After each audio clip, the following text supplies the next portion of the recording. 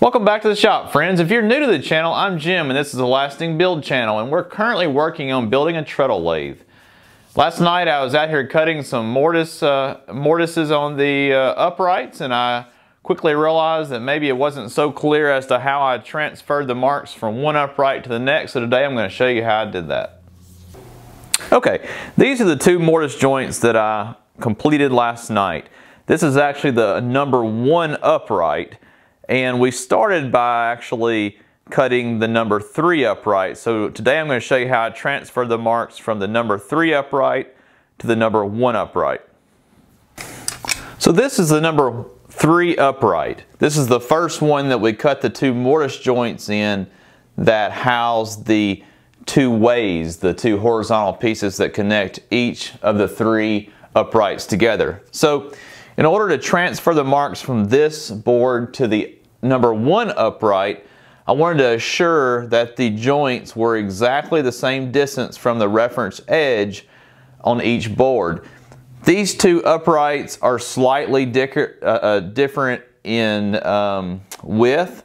I wasn't too concerned about the width of the boards. All I was concerned about is assuring that the joints were the same distance from the front and the same distance from one another in the middle. So what I did was I took my combination square and I lined it up with each mark on the joint. And I tightened that down and then I can take this over to my other upright and mark each line. So here we are back on the number one upright and I've secured my combination square with the mark that we just uh, took on the number three upright and then what I did was I come along on the reference edge of the board and then I marked that line.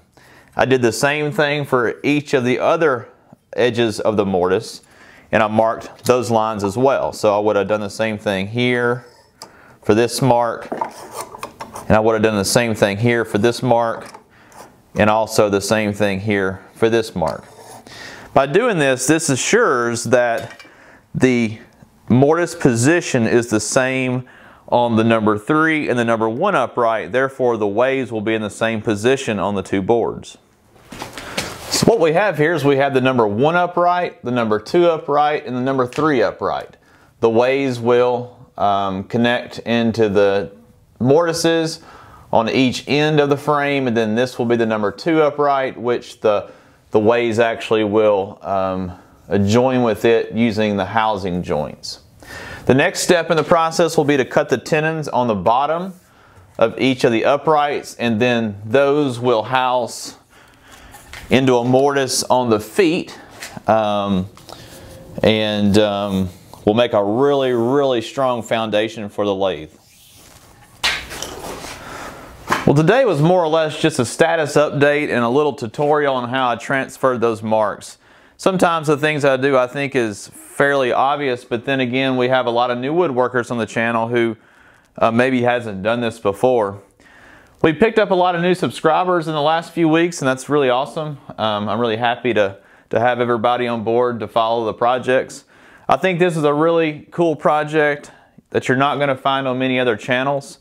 Um, Mr. Chickadee did a really awesome treadle lathe a few years ago, but there's not a whole lot of other tutorials out there on how to build this. So anyhow, I hope you'll continue to follow along on the project. If you have any suggestions along the way, be sure to let me know. Be sure to leave a comment. I read every single one of them and I try to respond as well. If you know someone who would like the project, be sure to share it with them. Uh, it helps to build the channel. Well, that's all for today, friends. Thanks again for watching, and I'll see you on the next video.